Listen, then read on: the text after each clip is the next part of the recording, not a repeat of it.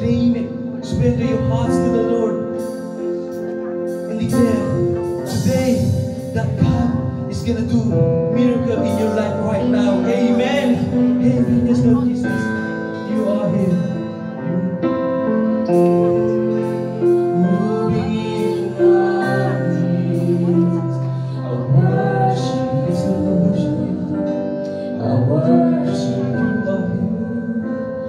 You are